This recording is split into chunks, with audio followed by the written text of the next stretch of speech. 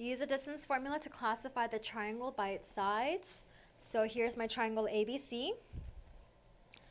Um, and then you're going to use a distance formula to find um, what kind of sides there are. So if I find how find the distance of A to C, then I'll find how um, the length of this side. Then I can use the distance formula to find the length of that side. Again, do the same thing here, and then you're going to compare those distances, okay? The three sides. So that means I have to use the distance formula three times, right, for each of the sides.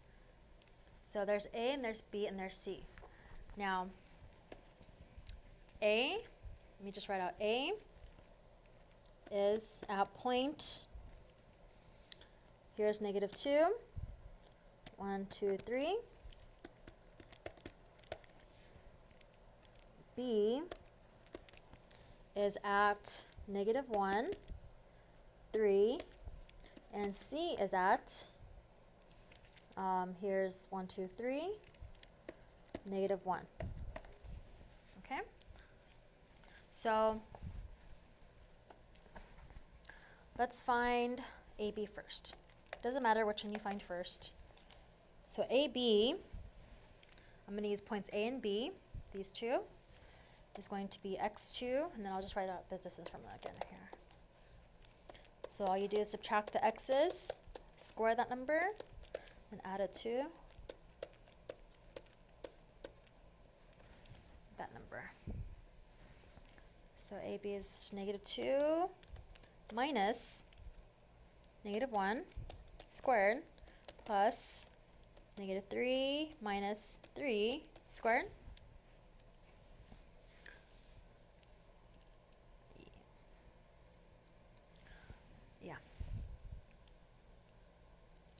So negative 2 um, minus negative same thing as plus. So that's going to be negative 1 squared is 1 plus negative 3 minus 3 is negative 6 squared is positive 36. So this is going to be square root of 37. There's AB. Okay? And then uh, BC, B and C, it's negative 1 minus 3 squared plus 3 minus negative 1 squared. And then negative 1 minus 3 is negative 4 squared is 16 plus, okay, this is going to be 3 plus 1, that's 4 this is 16. And then that's square root of 32. Um, this can be simplified. Okay, so remember um, last lesson, if you want to simplify radicals, square roots, then you have to write this down. You could do um, factor tree. So this is going to be 16, and this is going to be 2, or you can just do 8 and 4, doesn't matter. Circle if it's prime, now 16 here, this is a perfect square, so I can just go ahead and do that. But just to show you, it's going to be 8 and 2, or any 4, 4, doesn't matter. 4, 2, 2, 2, okay? Uh, whenever you have two of the same number, okay, it's going to come out of the square of the radical to a, a single time. So then, if, as long as there's two of the same number, it comes out um, as 1. So then that comes out as a 2. These come out as a 2. And then this one's still left, right? Whatever's left has to stay inside. And then whatever came out, okay, 2 came out here and 2 came out here, that becomes 4 root 2.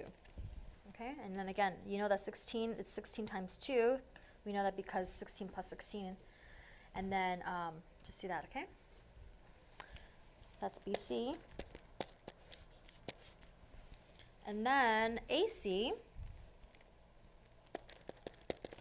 is going to be negative 2 minus 3 squared plus negative 3 minus negative 1 squared. So this is going to be negative 5. Negative 5 squared is 25 plus, this is going to be negative 2 because it's going to be plus plus. Negative 2 squared is 4. So this is square root of, so okay, let me just write it here. AC equals square root of 29. And this, it doesn't have, um, you can't simplify that anymore.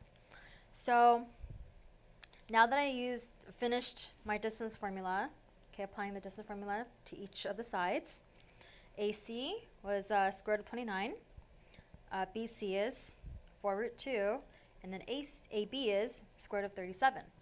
Now see how all three sides are different? Okay, the whole point is to classify the triangle by its sides. That means it's either going to be scalene, isosceles, or equilateral triangle.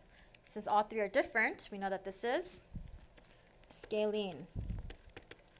Scalene triangle, okay? And that's your answer. Okay, so that's it for this lesson. Thank you for watching Educator.com.